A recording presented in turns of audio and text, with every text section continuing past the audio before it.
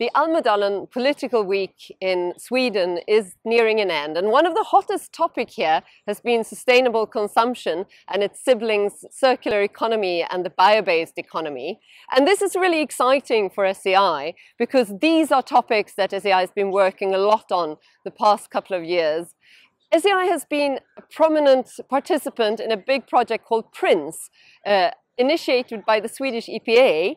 And for the first time, we're looking at the impact of Swedish consumption arising both from products that have been produced in Sweden, but also from products that have been produced abroad. And it's this latter part that has been challenging to estimate previously.